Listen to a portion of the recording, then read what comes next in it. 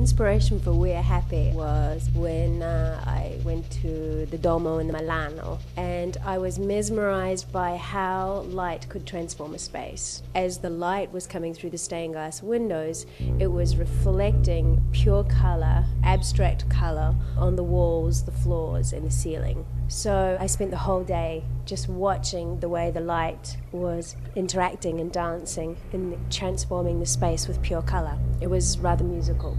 So that's probably the birth of the inspiration. I suppose I've always been fascinated with the effect that colour can have on a human being. I found that by immersing a person in colour, you can transform how he or she may feel.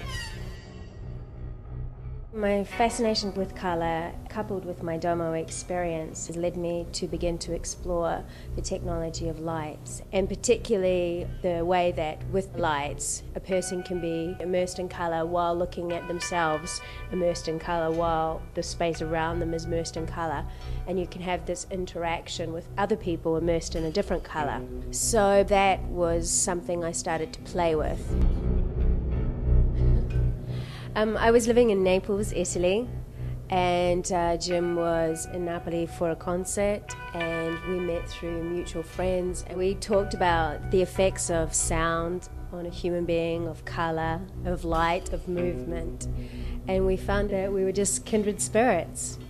And then we started to hang out more and talk more, and, and then decided to collaborate together.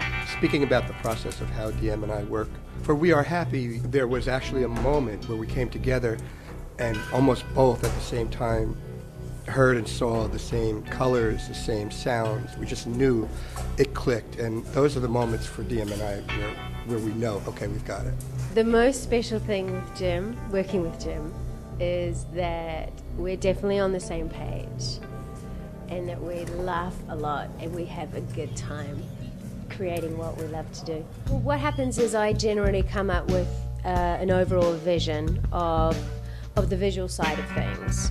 And then Jim and I meet and we start to talk about the ideas of the effect we're wanting to have, what we're wanting to say, and then we start. He starts to work on a piece of music, and he'll come back and then I will start to get more visual images and, and we bounce back and forth.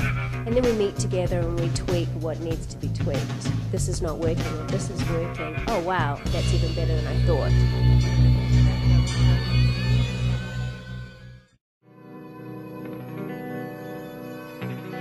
In the first piece, I, I, I certainly feel these uh, five tracks it was, working together or against each other and kind of trying to get somewhere finally coming together in the second piece and then releasing at the end of the second piece into this kind of beautiful melody and poem.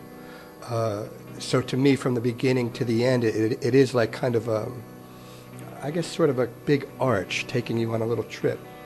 You know, starting kind of fragmented, coming together in the middle, and then just releasing you at the end if you can imagine New York City described in lights and music, that, that's what We Are Happy is. It's just a visual and audible description of what people's inner thoughts perhaps could be when they're walking around the city, having good days, bad days. And then, of course, in the end, reaching a, a, a state of actual peace and silence and solace in New York, which is a real important thing if you're going to live here.